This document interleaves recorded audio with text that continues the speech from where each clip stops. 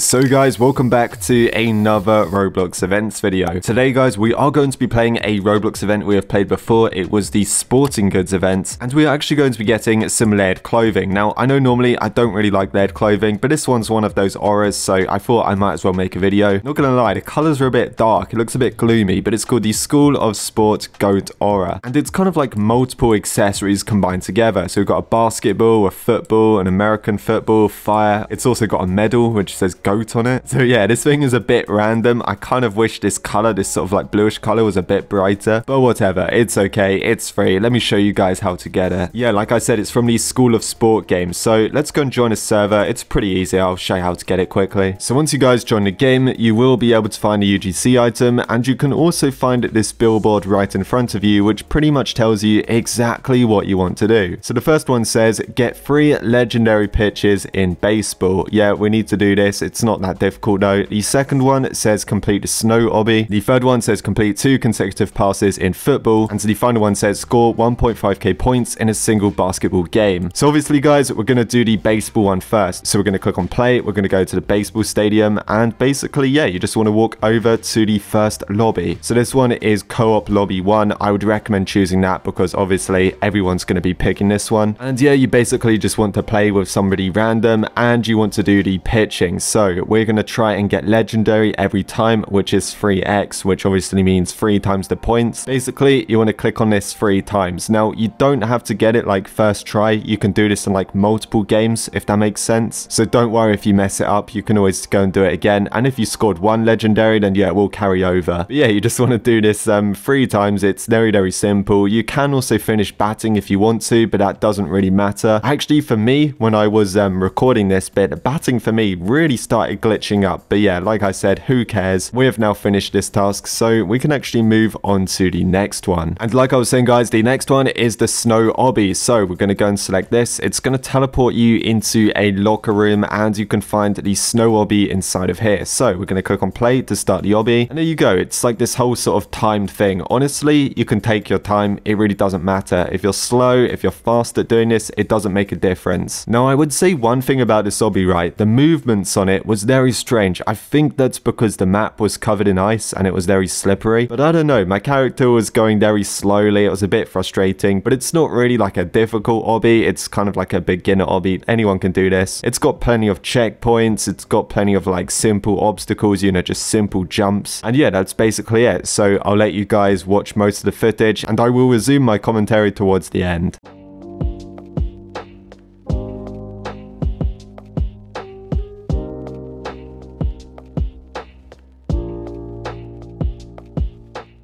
So here we are just about to finish the obby and the end is the hardest part. It kind of reminds me of that like classic Roblox game where it's got the cars flying down and you have to dodge out the way. Yeah, this can be a bit annoying if you get hit because pretty much as you can see, it knocks you all the way to the end, which is very, very annoying. So again, just take your time on this. You should be able to do it. Like I said, it's not really too difficult. And once you get to the end, it's going to say finish, you get the checkpoints and it should give you a badge as well. As you can see, I did it in 3 minutes and 55 seconds, which is not too bad. That one's complete. Let's move on to the next one. So on to challenge number three. This one was the hoops challenge. Now for this one, you have to be a bit crafty. I don't know if you guys remember my events video from a few months ago, earlier this year, right? Well, I actually had to use an auto clicker to complete this, and I think many other Roblox players are also doing the same. I'll leave a link to the OP auto clicker down below in the video's description. Basically, if you copy my settings and you just press F6 on your keyboard, you want to hover your mouse between focus